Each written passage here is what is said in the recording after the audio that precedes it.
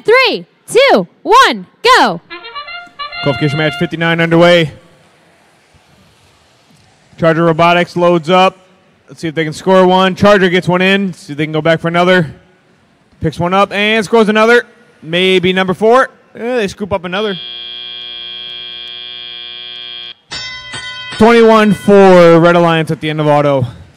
Step up and drive. Let's go ahead and start the teleop portion. Qualification match number 59 here at the Magna's sponsored field. Beautiful Wayne State University. The Charger Robotics loads up, scores another. Tronarchs, the rookie team. Tronarchs go to the Blue Line Source Zone, picks up a note, makes their way over the Red Alliance wing, trying to get through the uh, stage area. And Tronarchs are making their way back over to the Red Alliance side over here. The uh, Red Alliance is over here throwing everything they've got at the uh, feeder slot.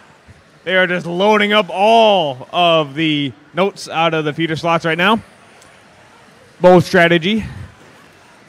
71 74 over here. Uh, that's a hard hit. They hit their own teammate there, but it looks like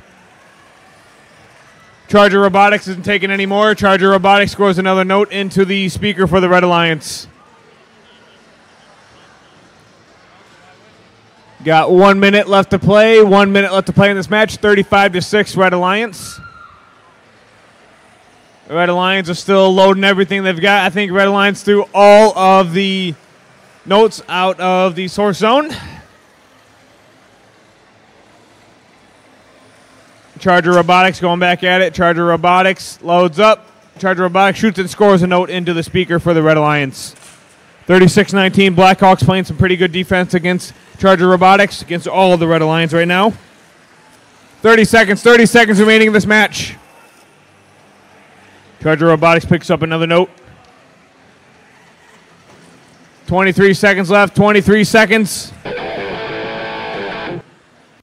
All right. Human players are going to start throwing the high notes onto the microphone. Let's see if they can score any. 10 seconds left in this match. One more in for the Charger Robotics. Three, two, one. And that concludes qualification match number 59. Blue line score of 13. Red earned two ranking points during that last match.